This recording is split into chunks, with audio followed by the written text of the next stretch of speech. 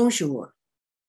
Je travaille pour l'ICPA, CAPI, et on aura un webinaire sur la tarification de l'inestimable, externalité et la politique agricole canadienne. Mais quelles sont les externalités? Les externalités dans l'agriculture se produisent lorsque des coûts ou des avantages découlent des décisions de producteurs euh, et qui ne sont pas évalués par le mécanisme normal du marché et ne sont donc pas pris en compte dans leurs décisions. Ça résulte dans une défaillance du marché.